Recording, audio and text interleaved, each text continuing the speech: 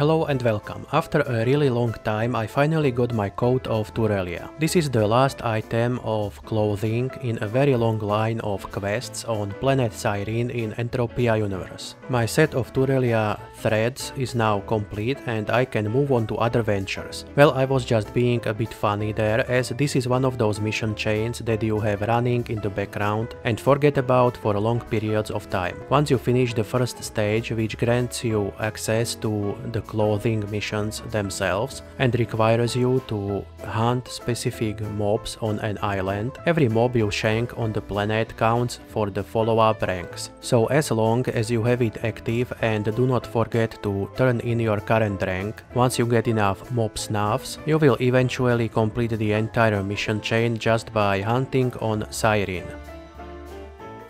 By the way, at first I was camping Pleeks for another mission chain and for rare wings, so I finished the first couple ranks fairly quickly few years ago. However, after that I was mostly getting progress by hunting bigger mobs and through swanting weak Penelions in the cave. That is why it took me few years to complete my Turrelia set. Back when I started, these clothes actually had some markup, or rather, the coat and as a result also the entire clothing set had some nice markup, however, since then all the individual items tanked hard in terms of markup. I do not think it is even possible to sell the set for more than a few hundred ped nowadays, if even for that much. Needless to say though, I do not plan on selling my outfit as I like the look of it and I must say that this outfit is quite comfy. It is a great set of clothes for all kinds of dung-filled weather regardless of the planet you find yourself on. Also, it feels quite good to finally have that coat. The feeling of pride and accomplishment is real with this one. I really mean it even though I deliberately chose that phrase in remembrance of all those memes Electronic Arts gave us back when they decided to